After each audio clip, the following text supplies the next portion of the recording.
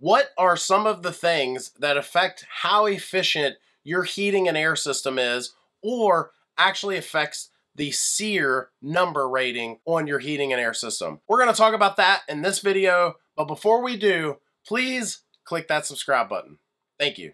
Hey guys, I had this question the other day. Uh, I'd done a video basically talking about how, you know, the ratings next year are about to go up, the minimum ratings on, you know, what you can buy. Here in the state of Virginia, the lowest SEER, the minimum SEER heating and air equipment that I can currently buy is 14 SEER and next year that'll go up to 15 SEER. So different parts of the country are going to be affected differently. Uh, so if you're not sure, check out that video and find out where you are and how it's going to affect you. But on that video, I had someone comment and they said, well, hey, Josh, what are some of the things that affect SEER or how efficient my system is?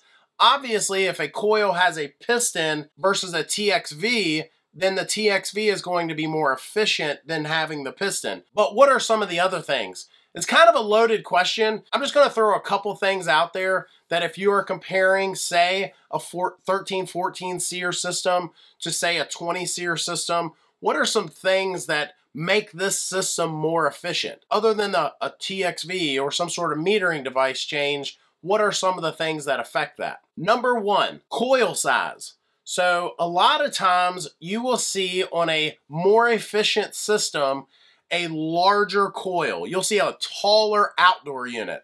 Uh, we've had customers, they you know went with a higher SEER system and then they were blown away by the height compared to their old system. Um, I have actually seen old one and a half ton heat pumps and they are like tiny. I mean, I mean tinier than like this trash can. I mean, they're like tiny, tiny little units. These days, if you buy, you know, a system, you're usually, even if it's a ton and a half, it's going to be significantly larger than that little trash can. But as you go up into, you know, even 20 SEER systems, there's some of them that, you know, I'm six foot tall almost. I'm like 5'11". But, you know, I'm kind of almost looking over the edge to look down in there. So coil size will affect that. I remember years ago when AHRI matchups were starting to become a thing and they were trying to get higher SEER ratings out of older equipment. One thing they would do a lot of times is they would oversize the indoor unit. In other words, if you had a three ton outdoor unit, you might put a three and a half or four ton air handler matching it and get a higher SEER rating out of that outdoor unit. So a bigger coil will affect that. Why? Well, basically, it's just more airflow. It's a larger coil, it's a larger surface, and more air is being able to go across that coil, lower or raise the temperature of the refrigerant.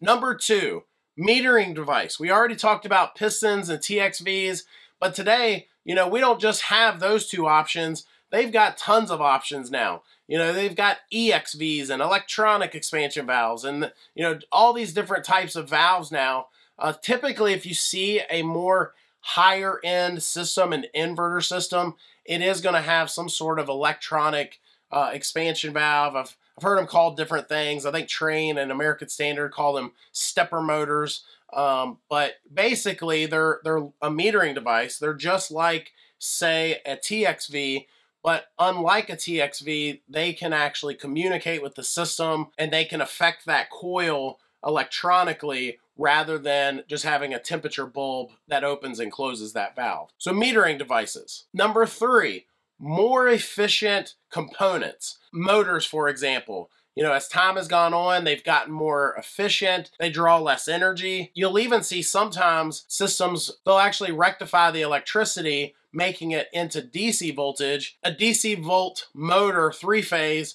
run instead of a single phase AC voltage motor because it will save energy in some way. Uh, so a lot of the components you'll see as time has gone on are more efficient in general. Another thing you'll see is staged systems or even variable systems. So as time has gone on, we used to have just single stage stuff and they still do right now during the making of this video. I think that's going to change at some point.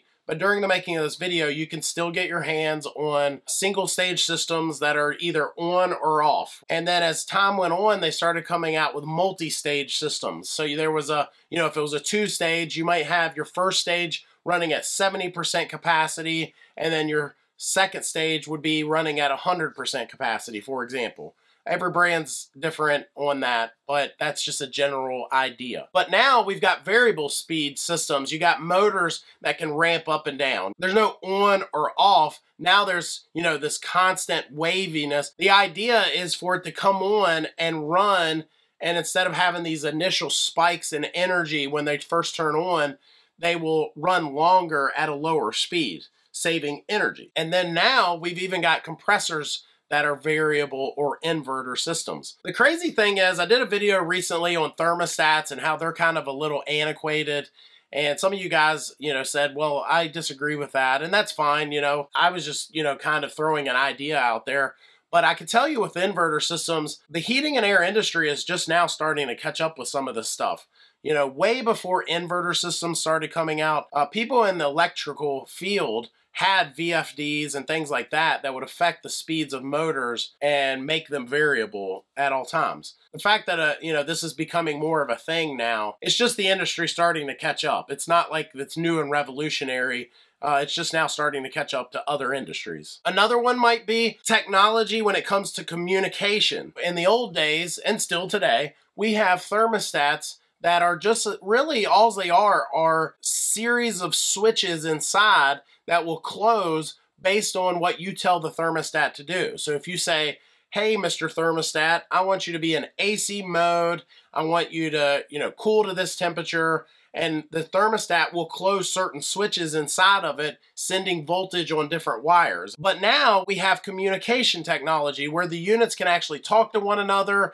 This unit can tell this unit, hey, I'm going to ramp up because it's kind of warm in the house. Or the other unit can say, hey, it's kind of hot outside or whatever, they can actually talk to one another now. And that makes systems more efficient. You don't have systems that are just on a mild day running at 100% capacity that variable speed communicating system can tell each other, hey, it's, you know, it's not that, it's kind of mild today. So we're just going to run just enough to cool that house and not draw so much energy. All right, guys, so that's the main things that I wanted to throw out there, but I want to throw a few more out there that have nothing to do with how efficient the system is or what the SEER number is that you should be aware of that can affect your electric bill.